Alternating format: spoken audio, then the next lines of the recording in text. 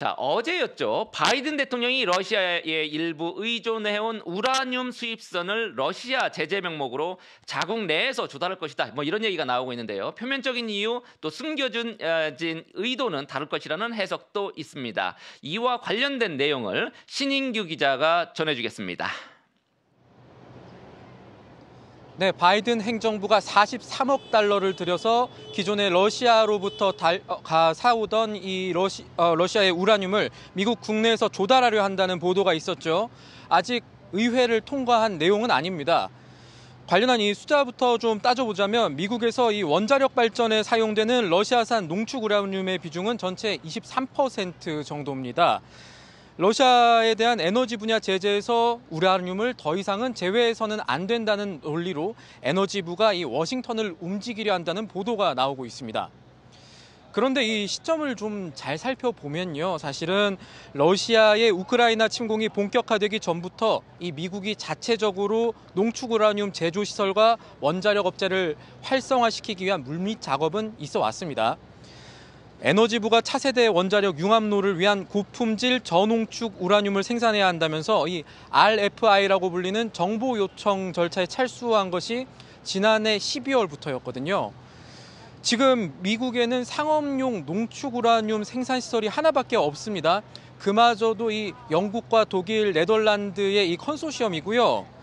어, 그리고 오하이오에 이제 하나가 지어지려고 하고 있는 상황입니다. 그런 것들이 좀 알려졌고요.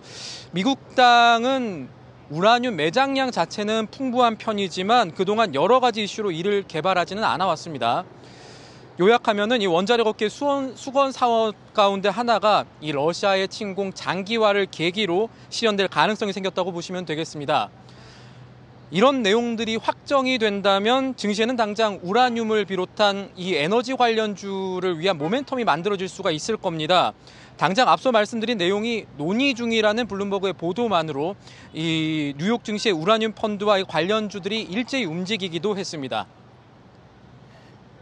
네, 그렇다면 다음 주 투자자들이 체크할 이 주요 일정들 그리고 이벤트까지 같이 짚어주시죠.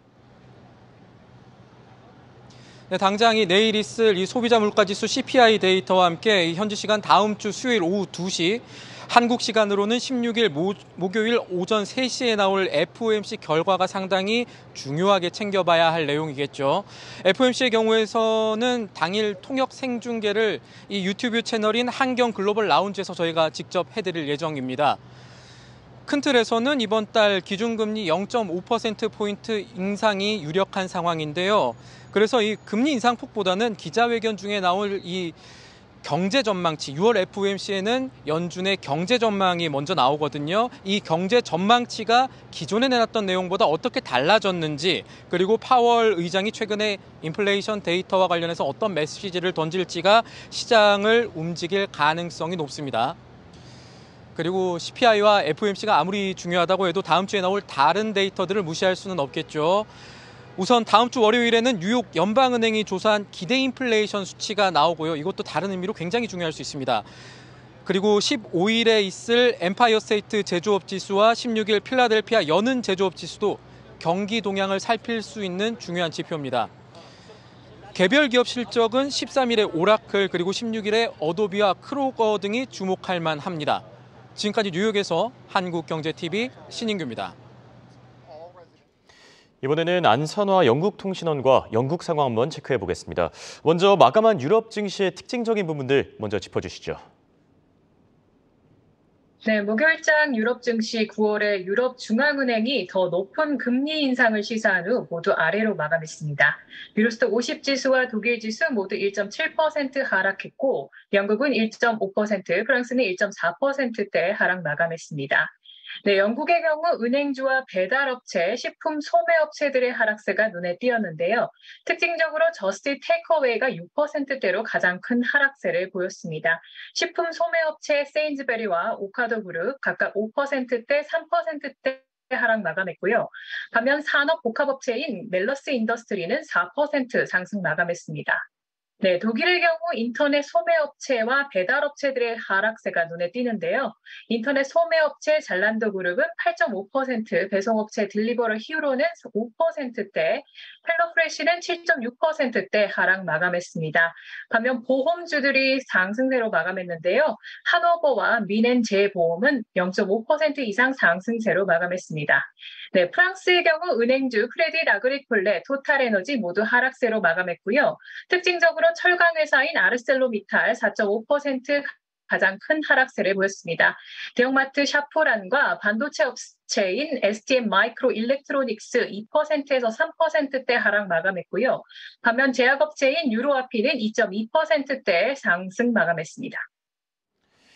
네, 그렇다면 최근 들어서 영국에서 이 무흡연 사회를 목표로 매년 담배 구매 연령을 높이기로 했는데 어, 이번 조치의 배경과 그리고 영국 기업들이 어떤 식으로 대응하고 있는지도 같이 짚어주시죠. 네, 영국에서 담배 구매 가능 연령대가 매년 증가해야 하며 그 사용이 근절될 때까지 정부의 흡연 단속을 촉구하는 정부 위임 검토 제안서가 제출됐습니다. 네, 현재 영국에서 담배 제품을 구입할 수 있는 법적 연령대는 18세인데요. 칸의 보고서에 따르면 영국에서 흡연을 통한 사망자는 매년 6만 4천 명으로 지난 1년 동안 코로나 바이러스로 인한 사망자 수의 두 배에 이릅니다. 본 보고서는 권장 사항으로 어, 전국의 건강 및 의료 불평등을 해결하기 위한 정부의 의제의 일부를 고려하고 있고요. 그 이유는 영국의 상위 부유층들이 빈곤층 가구보다 평균 10년 더 오래 살 수 있다라고 결과가 나와 있고 이러한 차이의 주요 원인이 흡연으로 밝혀졌기 때문입니다. 제안서 안에서는 소셜미디어 플랫폼 전반에 걸친 금연 캠페인과 더불어 젊은 세대의 중독 방지를 위하여 전자담배에 사용되는 맛에 대한 고려도 포함이 됩니다. 다가오는 금연 미래를 위해 영국 기업들은 다양한 수준의 투자를 고려하고 있는데요.